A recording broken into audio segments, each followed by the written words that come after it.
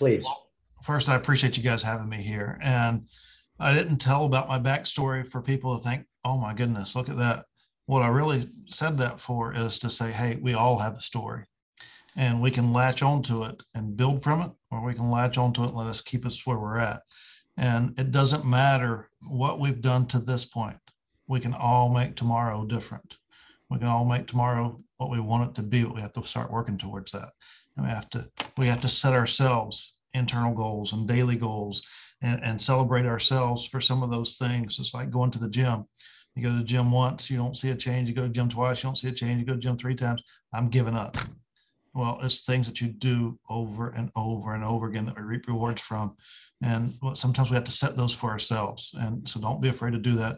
And we can make tomorrow what we want it to be.